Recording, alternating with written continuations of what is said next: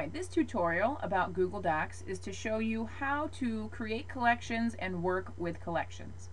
So, let's start first with creating a new collection. A collection, again, is simply Google's way of saying folders. Why don't they say folders? I don't know, because it's Google. But, about that's what these are. They're just folders. So, you go over here to create new collection. So it's going to prompt you to enter the name. I'm going to make one called progress checks. Okay.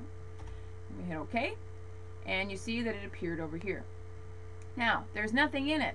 That's a problem. Collections are designed to collect things. So, what can we go and collect? Well, I'm going to go up here and hit All Items. And as you see, I have a whole bunch of progress checks here. They probably need to be organized. So how do you organize them? Well, you check them. I'm going to check a whole slew of these.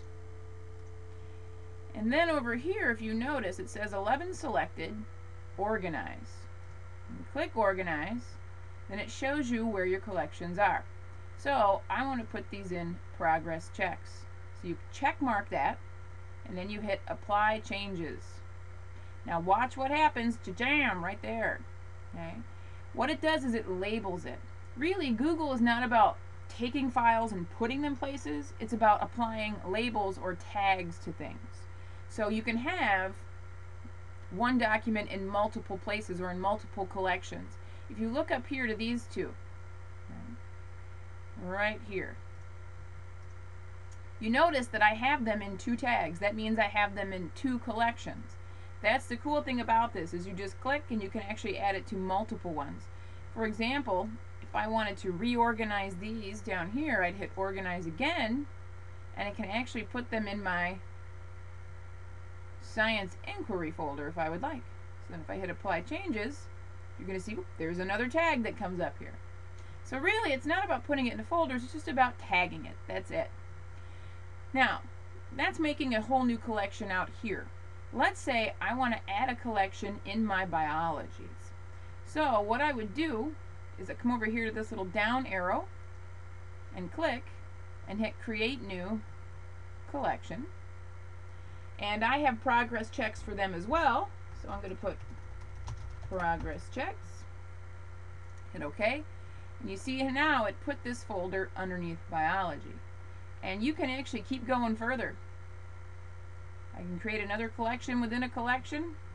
And I can put science inquiry. and I made a folder or a collection in that one. So, why do you need to make collections? Well, collections are how you organize your items. And you can search by collection, you can search by the tag, and I just think it's easier because right now I'm in all items. This can get a little crazy. I have a lot of documents. So if I just want to narrow it down to say, okay, I just want to look at my physical science third period list. This is everything that I have put in there. Okay? So basically it's a way of sorting and filtering. That's how they use their collections.